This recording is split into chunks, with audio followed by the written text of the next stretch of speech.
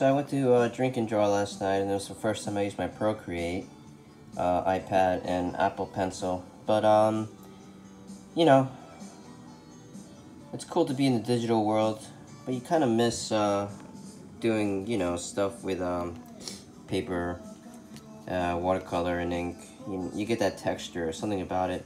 So I had done this last week, so um, I'm just trying to show like you know differences, but there's also a good thing, like pros and cons. Uh, I don't have to bring so many freaking tools to places to draw, and using the Procreate was really simple. It was just a lot easier. Uh, but it has so many tools, and you know, it's a little, a lot to get used to with all the stuff that it has. But anyways, I did this last week, and ooh, cat hair everywhere. But uh, yeah you know, it's just getting all that texture, which I, I love texture. I'm a sucker for texture. Got cat hair all over this.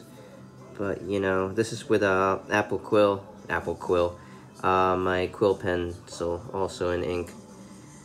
And, um, just gives a different feel to it. You know, it's kind of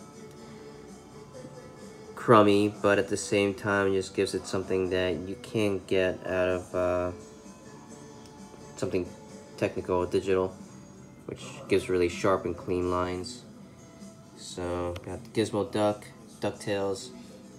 I used a reference of an old uh, plane in World War II, and I put the cat. Um, I just like trying to practice with, with uh, women figures. Um, it's all practice anyways, you know. It's some loser. Uh, Max Rebo, old Airwalk, Airwalk Enigmas, Sal Barbier. There's my kitty with a fro and a little hair pick. Uh, yeah, man, that's it. Peace.